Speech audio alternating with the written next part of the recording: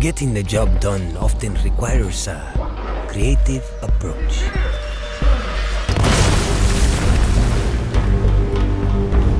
That's where I come in.